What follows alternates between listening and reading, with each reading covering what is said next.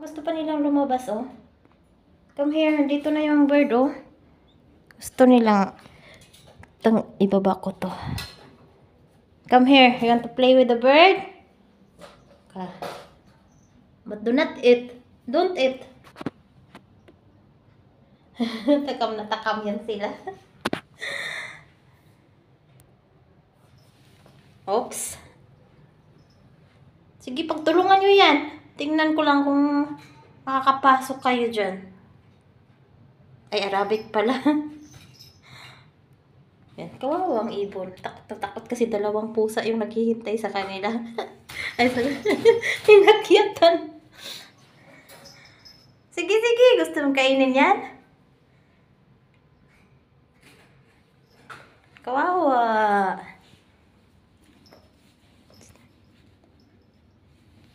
Hindi kayo makakapasok, no? Sorry na lang kayong dalawa. Yan, no? Mga natatakam sila sa ibon. Isabit ko na yan. Uy? Are you?